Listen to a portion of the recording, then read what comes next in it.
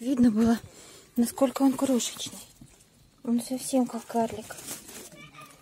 Вот моя рука и этот карлик. Не чухайся. Тот вон его братик совсем другой. Крупнее во сколько раз.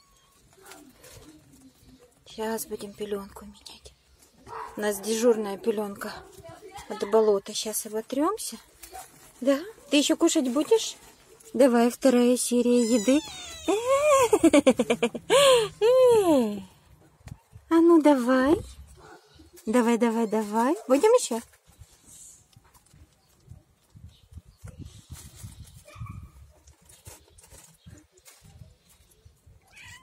Да.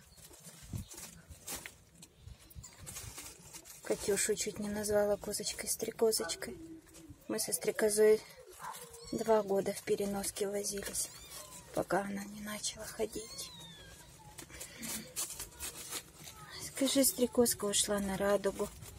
Зато мы будем этих деточек восстанавливать, лечить их. Уже еще им дом найти. Умница мамин. Мамина сокровище уже три дня наедается. Первый раз, когда я его покормила, я не видела, что он такой маленький. Сидел там в коробочке и все. А потом, когда увидела, что это она скелетик маленький такой. Первый раз, когда покормила, он не начал моргать. Просто тупо моргать, как кот. Была за благодарность. И потом одно кормление я пере... ну, оста... остановилась, потому что он у мамы кушал. Ну, это приемная, она почти пустая. И, в общем, я не принесла шприц, думаю, через пару часов покормлю. Он, Катюша, Катюша, нельзя выпрыгивать. И он подошел и начал мне моргать, просить еду.